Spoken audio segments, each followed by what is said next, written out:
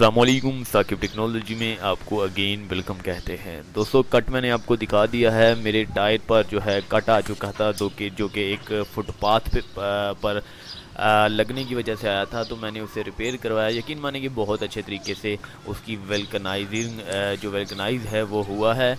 तो आप भी, मैं आपको रिकमेंड करता हूँ कि आप भी कोई भी कट लग जाता है, ज़्यादा से ज़्यादा लग जाता था, वो रिपेयर हो जाता है ट्यूबलेस टायर हो या फिर दूसरा टायर हो वेलकनाइज हो जाता है।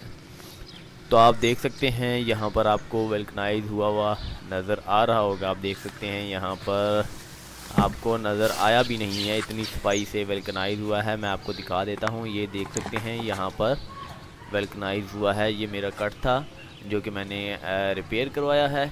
रिपेयर करवाने के बाद यकीन माने कि ये बिल्कुल नए बिल्कुल न्यू हो चुका है नए जैसा हो चुका है। इस पर जितना भी लोड डाल दिया जाए या फिर इसे जितना भी आ, कुछ भी कर लिया जाए ये हवा नहीं निकलने वाला। याद रहे कि हवा अगर टायर में कम होती है तो फिर इसके खुलने के चांसेस होते हैं। वैसे ये कभी भी नहीं खुलने वाला।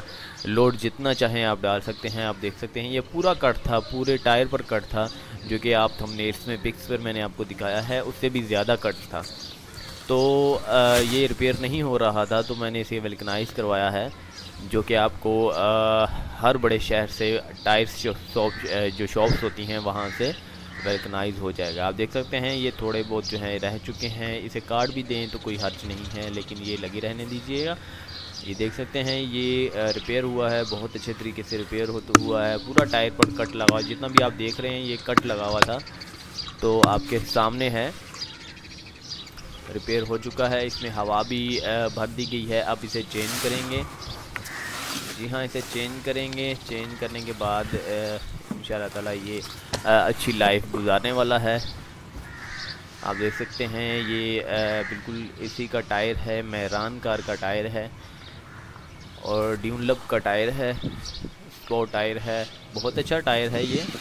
तो मैं भी आपको रिकमेंड करता हूँ कि ट्यूबलेस टायर में से ड्यूनलब आप ले लीजिए। आप देख सकते हैं, ये इसका फ्रंट टायर है और बैक वाला जो है मस्ती कर चुका था, फट चुका था, जो मैंने रिपेयर करवा दिया। उम्मीद करते हैं कि आपको ये वीडियो भी बहुत ज़बरदस्त लगी होगी। अगली वीडियो के लिए मुझे इजाज़त दीजिएगा, चैनल को सब्सक्राइब करना ना भूलिएगा। अल्लाह हाफिज़।